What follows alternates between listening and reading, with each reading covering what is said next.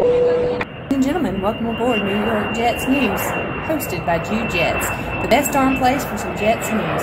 Enjoy your flight. What's good, ladies and gentlemen? Welcome to the New York Jets Daily Recap. I'm your host, Jude Jets.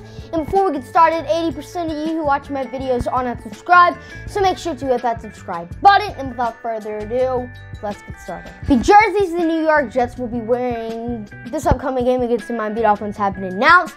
They are just, you know, the simple white on green, you know, the casual away look. Alrighty, the injury reports for Friday, October 16th has been revealed.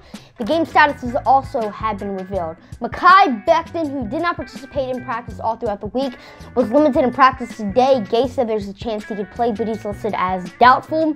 Sam Darnold, who was announced out on Wednesday, is now listed as doubtful. He did not practice the entire week, so it would be surprising to see him play, but as I just said, he was already announced out. Alex Lewis has a shoulder injury. He did not participate in practice on Wednesday, but he was limited these past two days. He is listed as questionable. Blessuan Austin, who has a calf injury, was limited in practice Wednesday and Thursday, but did not participate today. He is questionable. John Franklin Myers, who has a foot injury, was limited in practice all throughout the week and is questionable. Breshad Perriman has an ankle injury and was limited in practice all throughout practice this week. Now, he is listed as questionable, but I believe he's going to play. You know, that's what it's indicating to right now. Quinnen Williams, who has a hamstring injury, was limited in practice all throughout the week and is going to be questionable for Sunday's game. Chuma Edoga, George Fant, Jordan Jenkins, Brian Poole, and Frank Gore all had full participation in practice today, and they are obviously going to play. Taking a look at the Miami Dolphins injury report for Friday, October 16th, Davion Godek was placed on the IR, so he's obviously not going to play.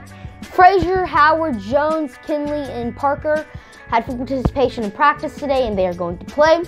Shaq Lawson has a shoulder injury, was limited in practice all throughout the weekend, is listed as questionable. Durham Smythe, a tight end, has was limited in, in practice all throughout the weekend, is listed as questionable.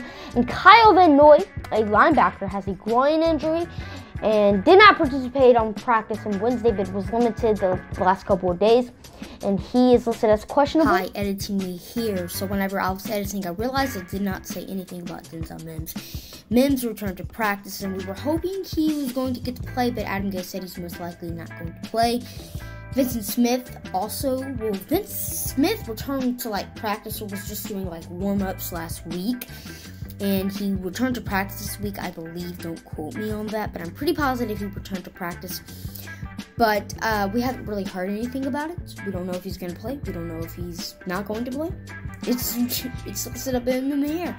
You know, you might see a report from a hmm, Twitter tomorrow that says Vyncint Smith has been cleared off of IR. But as of now, Adam Gase has not said anything. If you like what you saw or heard today, make sure to subscribe because I post content like this every single day. Thank you for tuning in, and as always, go Jets. Peace.